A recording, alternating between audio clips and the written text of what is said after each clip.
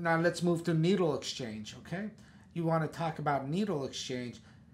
The idea, let's take some of the arguments. I'm going to move away from what I've been saying and I'm going to talk about some of the arguments against it and draw out some of the issues here. You know, one obvious and fair, uh, a seemingly fair argument is that it promotes drug use. Okay? Number one, let's go back to the first part of my talk. It absolutely does not promote drug use and it creates positive outcomes for life, for disease, and for social situations. And I'm going to give you a few uh, things to think about here. If I'm a severe heroin addict and I've gotten to the point where I need needles, do you actually think on the day that I choose to quit heroin, I'm going to actually continue to use intravenous heroin because there's a needle exchange program? Just think about that from the individual level. The very thought is insane that it promotes substance abuse. It just is purely uh, uh, insanity. Normal people don't go to a needle exchange program. That is a place of desperation. And to think that it promotes intravenous drug use is not only insane from rational thinking perspective and from common sense perspective, the data shows clearly the opposite of what this is. What is a needle exchange place?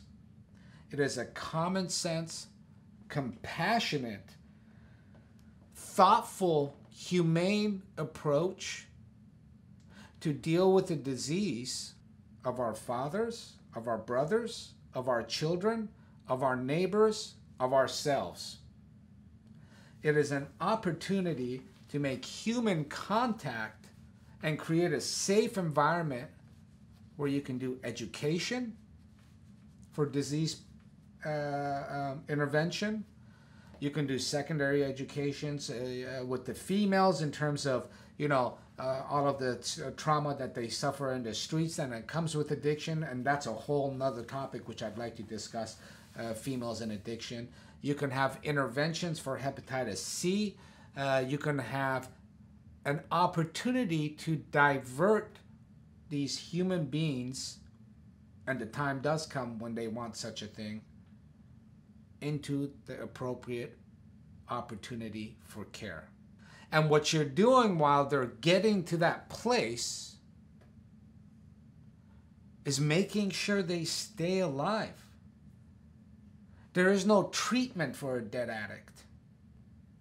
There's no hope if we continuously to create, it, uh, it continuously allow them to create their own demise.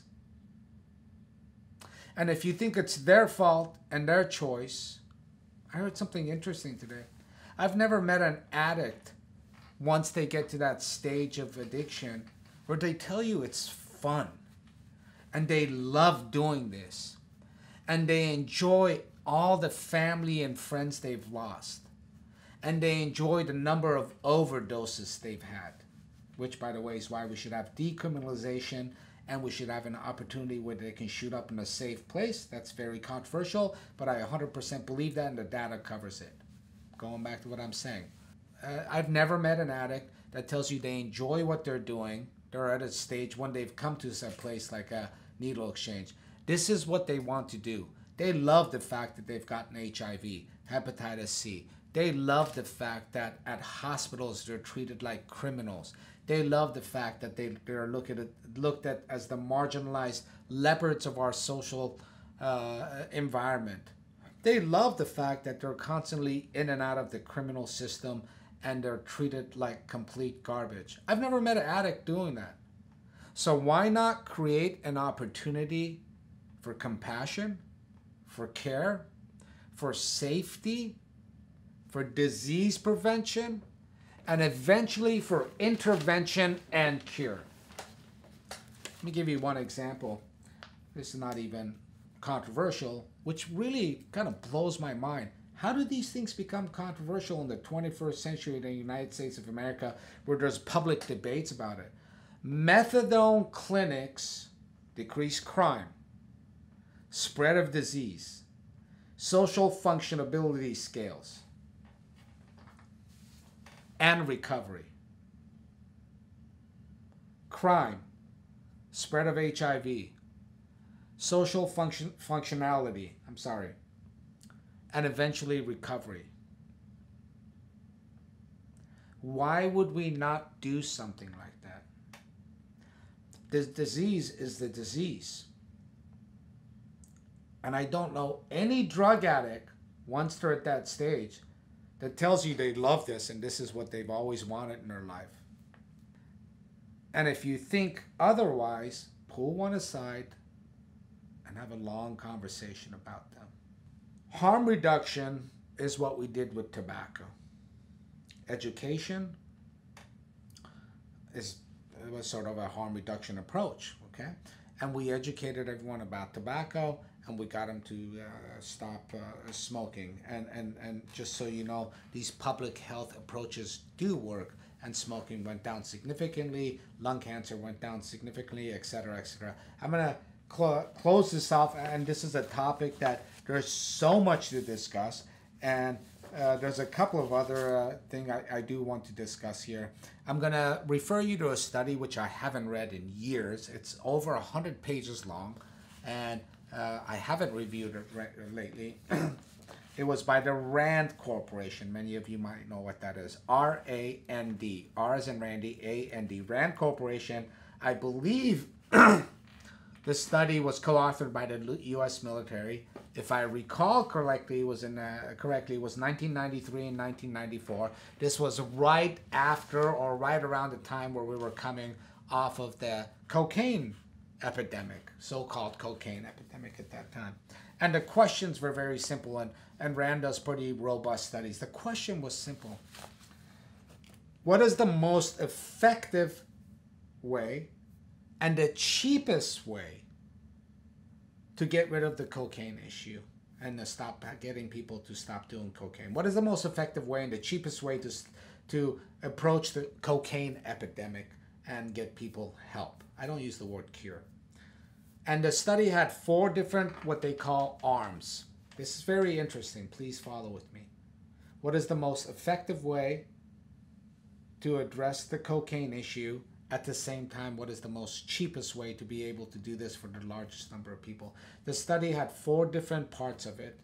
And uh, I won't go into the technical terms used, but essentially, on one extreme of this arm, uh, and again, it's been many years since I read the study, it's 100 pages long, was actually the worst thing you can possibly do is punishment and incarceration.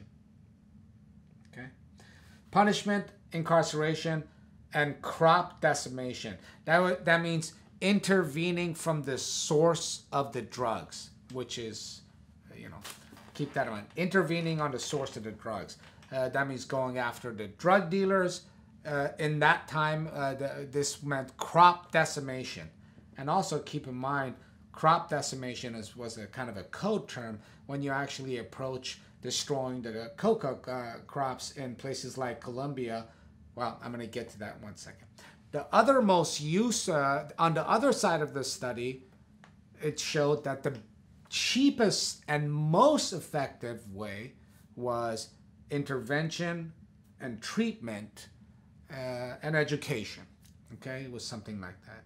That was the most effective and cheapest way to approach the cocaine epidemic. And the worst way to approach it in terms of what it cost, the social destruction, and actually curing was incarceration, law enforcement intervention, and attacking the supply source, which meant basically going after drug dealers and crop decimation, which was what it was. This was in the early 90s. During that time and soon after, the United States foreign policy turned out to be, and domestic policy. What did it turn out to be after this large study? Incarceration, harsher laws, okay? No treatment money spent, and intervention at the supply source by, by what was called going after the crops and you know uh, harsher sentencing laws. There's more interesting pieces to this. Crop decimation in colombia is not going after and destroying the coca crops. After the united states foreign policy went after this particular policy as an approach to the cocaine crisis, what crop decimation was, it actually destroyed the fields, the farming fields for those coca farmers. And we had the largest displaced, marginalized population in the world, which was led by Sudan until that time. They all fell from farming into the main cities of Colombia. Okay? And what the crop decimation did is it destroyed the farming, and eventually American companies went over there and took uh, over a lot of land, and you know we had the Banana Republic thing. Now take what I just said. Uh, you know the harm reduction approach would have been much more efficacious, and uh, think about tobacco. Tobacco causes more harm across the planet in terms of death, destruction, and societal costs. It's one of the number one on the World Health Organization uh, than cocaine by magnitudes. Imagine uh, today, because if you went to mainland China, the amount of lung cancer and death and destruction secondary to tobacco is out of this world. Now imagine if the Chinese said, you know what? Americans are selling us the tobacco. Let's do exactly what they did in Colombia. Let's take some B-52 bombers, go to North and South Carolina or wherever these, Virginia, where these tobacco crops are grown, and let's bomb the living crap out of it. Isn't that insane? And uh, Noam Chomsky, for those of you who know who once said it, is that if Martians were looking at us and our approach to drug policy in this country, they would actually think we're actually either demonic or absolutely insane. Harm reduction works. It is the humane, humanitarian, common sense approach with more scientific data and evidence than I can even discuss here. And there's an insanity why we don't do it, which I can't understand. Well, I do understand. Please click on the video on the link to the left if you like what we're talking about. Uh, there's other videos uh, regarding substance abuse. I hope to do a lot more on harm reduction. It's a, a topic that's near and dear to me. And please, below, leave any comments, any questions. I hope to generate a discussion regarding this topic so we can dis- uh, talk about it more in the future. Thank you very much.